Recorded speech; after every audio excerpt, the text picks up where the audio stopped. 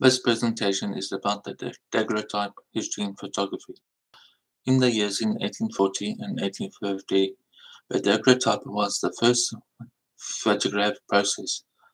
They were like a mirror on a bright silver metal surface, which depending on, on light conditions was either positive or negative and the first snapshot was taken.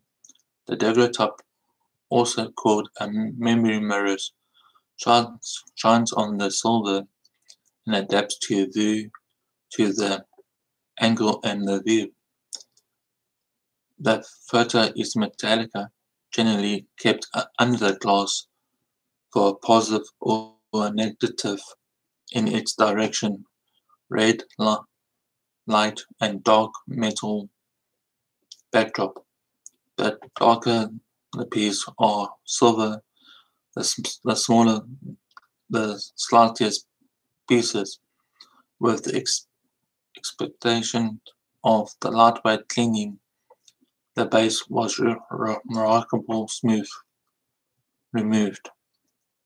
In contrast of the photographic paper, a daguerreotype is not lightweight and rather dense. The daguerreotype is is accurate, detailed, and sharp. It is very fragile and has a silver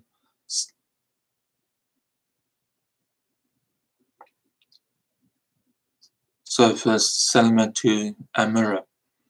Since the platform is highly unstable, most daguerreotypes have a nuke housing. Different types of housing exist an open model, a, a folding box.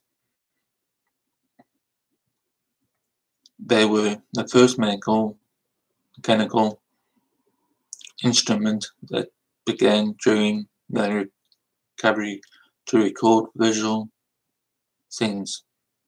Time artists used the dark camera to draw their wishes. Late in photography, the camera dog may be used. It took a person eight hours to look at these pictures.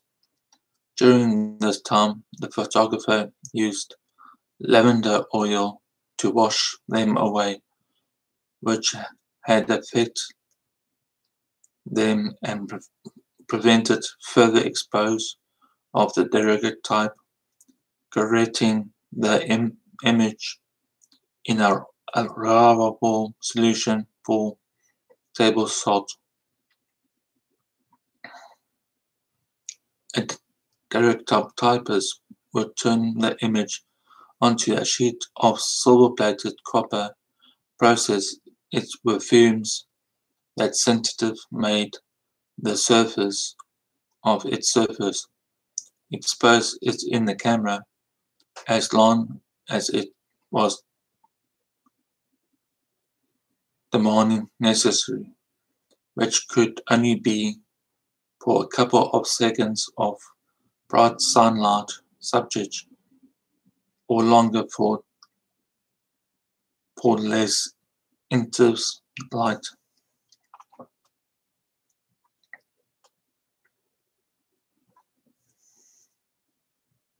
Daguerreotype was remained to date to show an unusual declines trends and are as a subject to damage.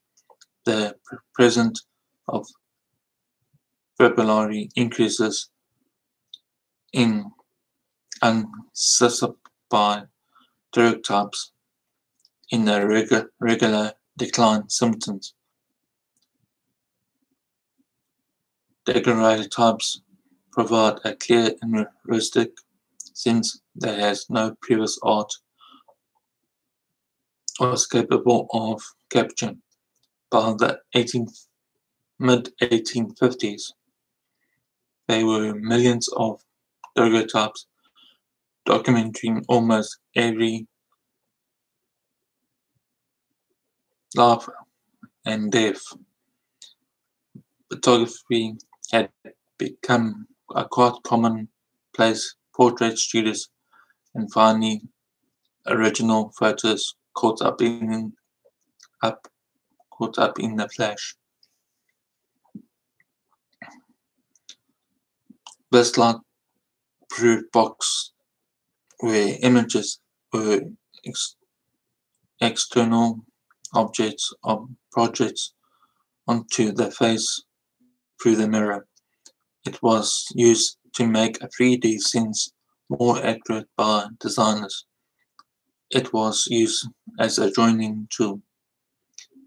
It was less expensive and difficult to deliver methods at this time. This led to almost full change of the daguerreotype method of photography. But daguerreotype was widely described as a private memory and a good and clear image on the thin silver coated plate. In 1840, several portrait studios were opened. It was easy to daguerreotype and only the wealthiest could afford a portrait of themselves. The daguerreotype has been used to capture various images including structural and documentary subjects, nature, events, or through portraits with the most common subject.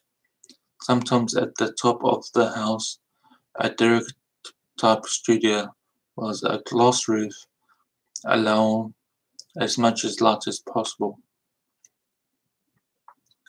The daguerreotype lost further in the late 1850s when they introduced in a quicker and cheaper photographing process, and some new photographers restarted this technique.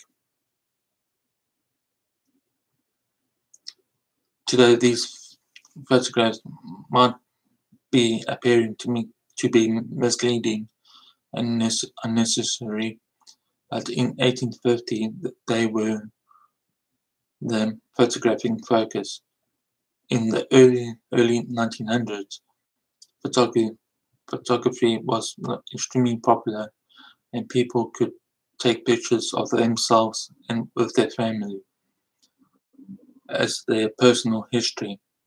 So, to to the Frenchman invented lay the groundwork for this new era.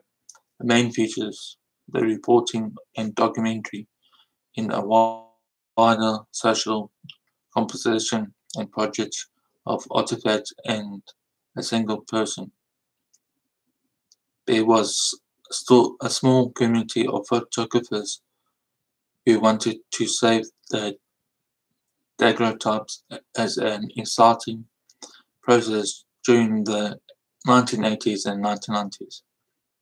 Despite the insightful importance of daguerreotype owing to details difficulties, Humbert does, does not trust in the photography photographic medium in which it had communicated having the same expression influence as a join. This seems seems to be strange when considering that photography came from the love for the landscapes when many inventors and consumers have been reported since then. In most accounts, Fox Talbot, building upon the stereotypes of qualified sensitivity, movable objects were not recorded.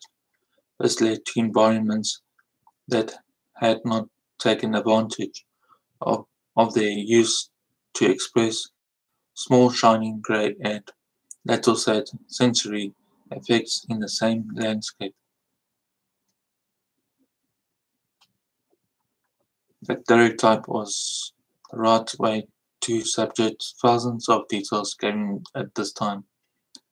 However, due to, due to its difficult physical appearance, it had become much less approachable to reflect the common, indeed, the scientific object in the here. A further drawback was the small size of the pictures. In PNN, then since emanation is a daguerreotype element, a real picture of the natural process is not assured. In addition to the problems mentioned above, there was also difficulties discussing the whole plots and its accurate results that suggest gene symptomizing and modeling. This includes my presentation.